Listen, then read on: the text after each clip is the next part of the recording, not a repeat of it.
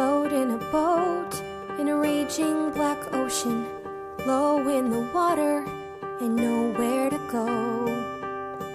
The tiniest lifeboat with people I know.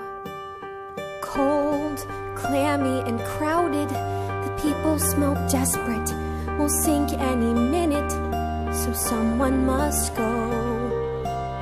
The tiniest lifeboat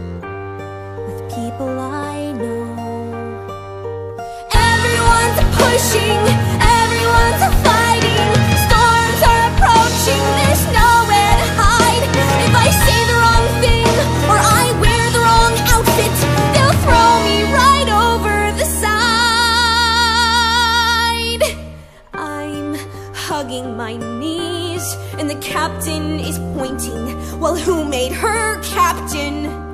Still, the weakest must go the tiniest lifeboat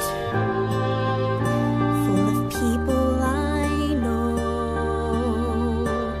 The tiniest lifeboat full of people.